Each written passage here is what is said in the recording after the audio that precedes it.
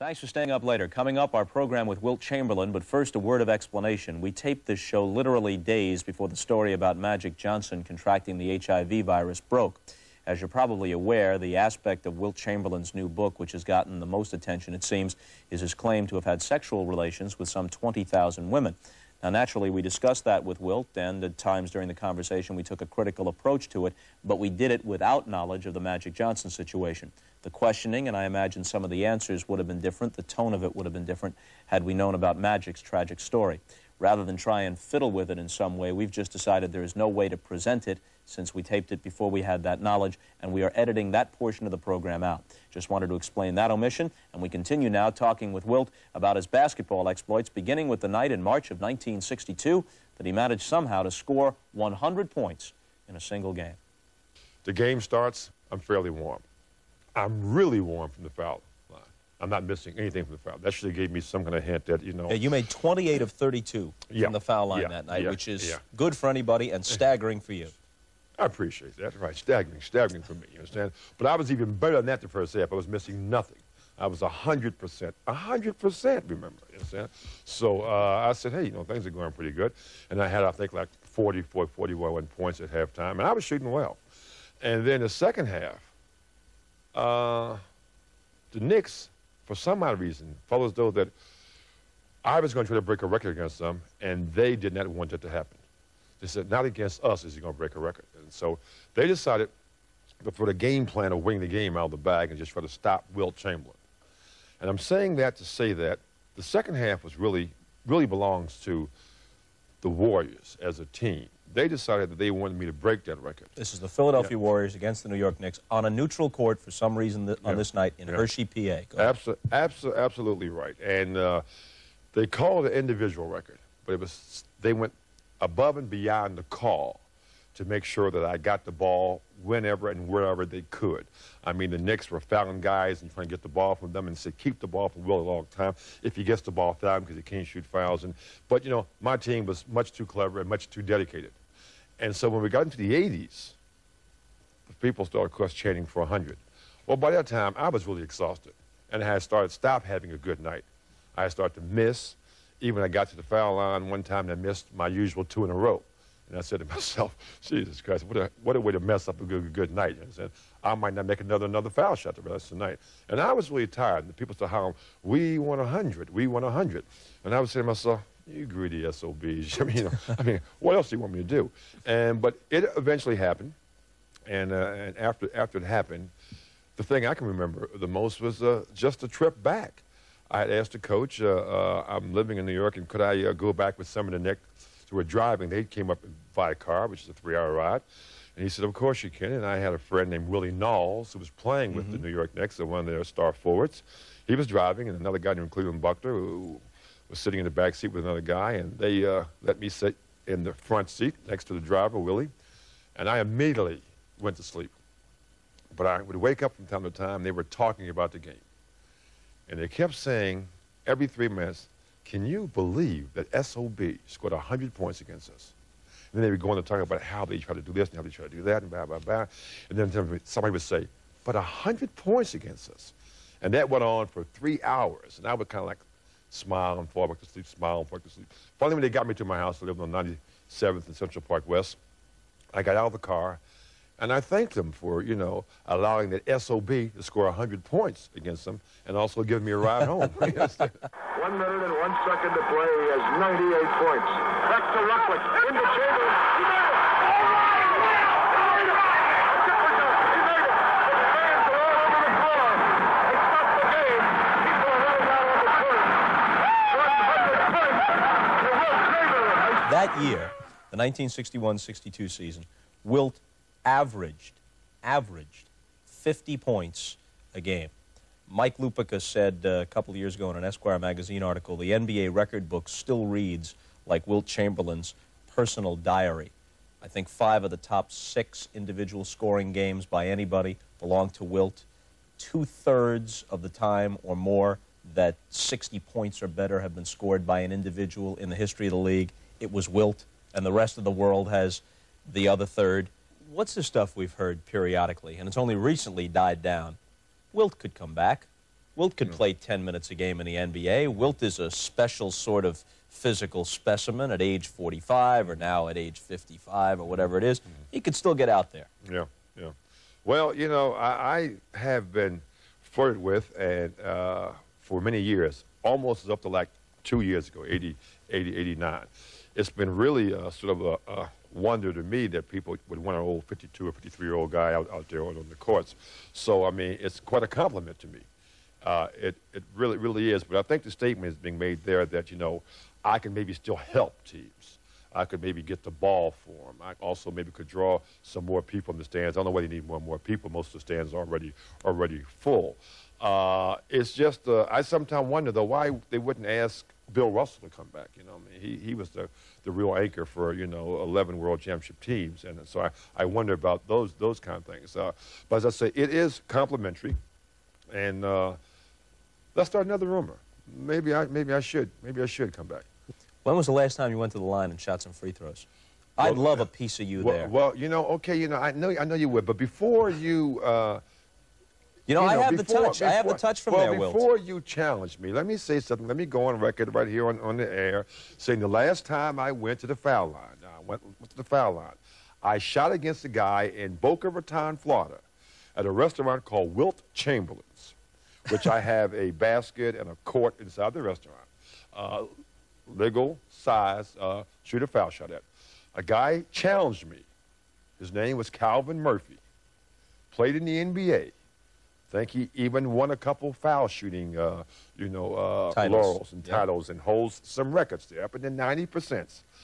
Ask little Calvin Murphy, who won Calvin Murphy? Who won? Oh, yeah, oh, yeah, you come on, bro. Who you for? Ask Calvin Murphy. In fact, he got so angry that I beat him in a game of horse and he took me to the line and all that and blah, blah, blah. And we shot and shot and I beat him one on the foul line. That he says, oh, well, well you know, well, uh, okay, I, I'll make 25 in a row. If I make 25 in a row, can I own your, own your, uh, you know, own your uh, club? I said, sure, if you can make 25 in a row, Calvin. He gets on the line, he makes 22 in a row. I step beside, said, Calvin, you don't miss the next one because you can't handle the pressure. Sure enough, he missed the next one. You saying? but no, I beat him. I beat him. All that is to say that I, I'm a psycho. I'm a my head case when it comes to foul line. I'm a good foul shooter. I always was. I used to shoot against Gail Griffiths and those guys wasn't practice. I made shots in practice. I was just uh, But in the game- I was just a player in the games. But me and I'm laughing about it now. But it was a sad. It was a sad sight. In the game, it was, It was really sad. sad. I mean, you'd have sight. years where you were averaging 35 points a game, Yeah. but you were shooting 40% from the foul line. Not 40. No, that's don't make it that bad. The one year you were under 40. 40. Get out of here. One year you were you- under 40. I'm a, hey, you I'm- know better listen, than to question me on this, Will. Okay, I'll tell you Don't what. get I testy. tell you what. I know. I mean, let me tell you something right here. I know that you, you are a very good man with stats, but I'm willing to bet you my shoes against your shoes. What are you going to do with a pair of my shoes? Huh? I'm gonna throw them in the East East River. Is what I'm gonna do with them. you understand? Uh, uh, that uh, I think 48% was like uh, my worst, my worst, worst year. I, I, I- you know, but we'll, but we'll, but we'll, we'll find that Now out. listen, Bruce Kornblatt, while Wilt and I are talking, Yeah. run up to sports Yeah. and get a copy of the NBA record book. Right. And we'll check Wilt every year. Right. All right, before it we finish this thing out. Definitely in, yeah, definitely in the, in, the, in the 40s. I'm not proud of that. That's not a, you know, it might as well have been 38%, but it wasn't 38%. Not every, not for your career, no, but of course one not, not year even was. one time. I'm not, Yes. I'm not that bad. All right, I tell you, all I'll- I'll, hang Okay. myself if you're, you're, you're true. All right, you, you, you, From, the, from that 10 foot basket, or maybe from the foul line, I'll hang myself. you, you mentioned Bill Russell Right. earlier. Just like Ali and Frazier needed one another to define themselves, Mm-hmm. you and Russell needed one another for that purpose. True. I want to say this about, about William Felton Russell. First of all, I think he was a much more all-around basketball player than people ever gave him credit for. Uh, the man averaged like around 17 points a game for his career. His career. That's only about like seven points or so less than Kareem did. And Kareem, we all know what he did offensively. Uh, his assists is right up there with some of, some of the very, very best for a career. We know what he did on defense. And to me, what he did most for the Boston Celtics was get them the ball when they needed it and wanted it. No one did it better than him. Here's what became the standard wisdom Wilt was the best all round talent, certainly for a big man, in the history of the game. The statistics are awesome, but Russell had the knack of contributing better to winning teams. His teams won 11 championships in a 13-year span, uh, defeated Wilt's teams in the playoffs, I think seven of eight meetings or six of seven meetings, and four of those meetings went to seven games, and Russell Celtics won all the seventh games, although the four of them by a combined total of only nine points. But maybe that solidified the notion in people's minds that it would get down to a close game and somehow, although the stats would be on Wilt's side, Russell would have the knack for winning and his team would prevail. So people said that Russell was the winner and Mm-hmm. the greater champion. Well, let's let's let's kind of like dissect it a second, because you said something as I'm sitting here or listening to you, and you're absolutely right. But you said we lost four seventh games by nine points, and you then say that Russell had the knack for you know well whatever. But I remember how we lost some of those uh, seventh games. You know, Havlicek steals the ball. That- that's not Russell steals the ball. In fact, in that very game, Russell made a miscue by throwing the ball out of bounds up into the guide wires of the Boston Gardens, which gave us a chance to win. To, to win Almost the game. gave the game away. Absolutely right. And then there's guys by the name of Sam Jones, who every time a basket was needed right there on that clutch, Sam Jones would put the ball into the basket. And as you know, Nelson put one of them in there one time that was the most ridiculous shot you ever wanted to see. Now, I am not demeaning Bill Russell, but suppose those other guys who helped them to win those little close games right then, it had been Jerry West to do something for us or, or Greer or something for us at that particular time, but Chet Walker, I might have won four more world championships. But forget about the I might have. I'm just saying, though, because I lost those four by nine points, I don't see where that makes Russell that much better than me or where it should change how people feel about me as far as I am as a player. Even though I must admit, even myself, the whole deal is about winning. Understand? So if you want to like just talk about winning, you can't get past Bill Russell. If you had to pick one center Mm-hmm. to start a team, who would you pick? Well, you know, that's another good one. You see, I think sometimes, Bob, that you can be uh, too good if it's a team sport, and sometimes that less is better. See, Bill gave the Boston Celtics what they needed. If Wilt Chamberlain played for the Boston Celtics, he would have taken away from maybe a Heinsohn, maybe a Sam Jones, maybe a Cousy. Because I could, I could put the ball in the basket, and I would take some of their shots away from them. And that might not have been for the perfect team. So it, it, it depends not who you would start it with, but if you started with Bill, you'd have to like surround him with a certain type of team. If you start with Wilt Chamberlain, another type of team. If Kareem, another type of team. So I don't think that's going to answer the question that you're trying to really get at. I'm pretty smart, aren't I? But suppose the same four teammates Yeah. were going to be around. Let's suppose. Let's put it this way. Yeah, okay. All right. You can pick any four guys Mm-hmm. you want. Who do you want the center to be? Ooh, if I could put any four guys I want, then I got to take Will Chamberlain. Because, uh, you know, I'm going to put somebody around him, and, you know, and since he can do almost everything on the basketball court, with the exception of shoot foul shots, uh, you know, uh, Kareem, in his book, wrote an open letter, an open letter to Wilt Chamberlain. Now, th- there was a history that preceded this. You had been critical of him, although part of the history, I should say, includes you taking him under his wing and taking him around socially and giving him pointers and whatnot when he was a very young man, and he was appreciative of that. But then the relationship soured, and you were critical of him toward the end of his career, saying he didn't maximize his his talents, didn't give it all all he might have sometimes, wasn't as good a rebounder as he should have been. Then he lashes out at you and says, I, Kareem Abdul Jabbar, am going to be remembered for having contributed to teams. And Wilt's going to be remembered as an individual who didn't contribute to teams and was a whiner and a crybaby and a quitter. and a quitter. Okay. That's what Kareem said. Kareem has, has a right to, uh, to say whatever he feels. I think he went above and beyond the call of uh, being critical.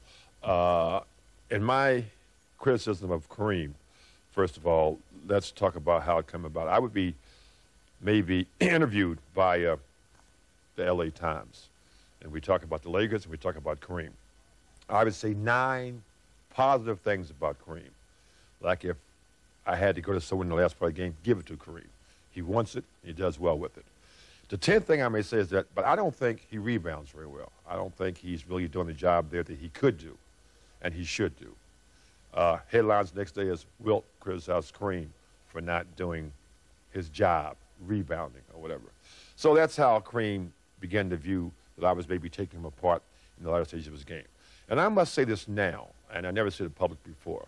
I, I respected Kareem, and I had a lot of guys who I respected in sports, Joe Louis, Sugar Ray Robinson, Willie, Willie Mays, and a few others, Muhammad Ali, who I thought should have given it up two or three, four years before they did.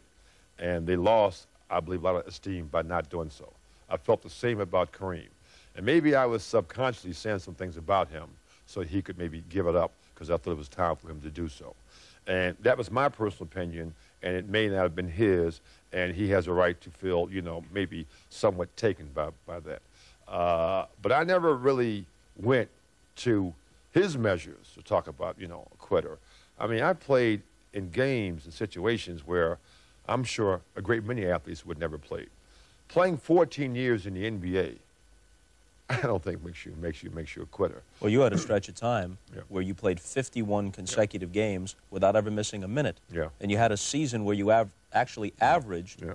more minutes per game than there are minutes in a game because you were also playing in overtimes. You averaged more than 48 minutes a game. So what, what does that tell you, though, Bob? I think that he was just maybe a little angry or being misguided, and, and once again, as Bill Russell may have done, uh, just venting a little, little anger and saying something that he really doesn't mean. Now, from other conversations with you, I'm getting the feeling that at age 55, you've taken a step back from this and you've said, all right, I had my differences with Bill Russell, and it hurt me, and he said some things which hurt my feelings.